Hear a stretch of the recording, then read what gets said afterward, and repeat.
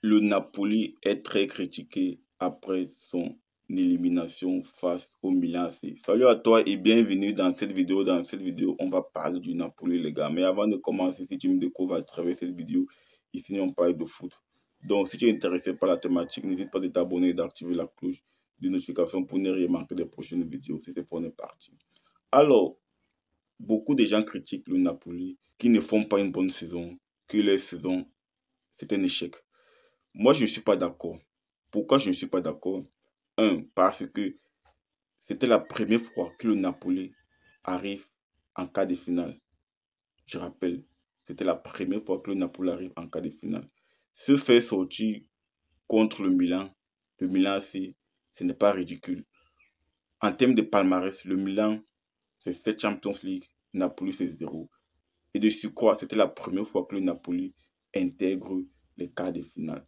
Donc, en termes d'expérience, le Milan a plus d'expérience en Ligue des Champions que le Napoli. Ce n'est pas parce que le Milan est moins bien ces dernières années qu'on va croire que euh, si le Milan élimine le Napoli, c'est une honte. Ce n'est pas une honte. Ce n'est pas une honte. Et de deux, le Napoli fait une saison incroyable en Série A. Je pense qu'ils ont plus de 15 points d'avance le deuxième. 15 points, les gars. Donc, ce n'est pas une mauvaise saison. Ce n'est pas une mauvaise saison. Ils font plutôt une bonne saison. Ça faisait plus de, je ne sais plus trop, 30 ans, 40 ans que, que le Napoli n'a pu remporter un titre, les gars, en Série A. Depuis, je pense, Maradona, si je ne dis pas de bêtises.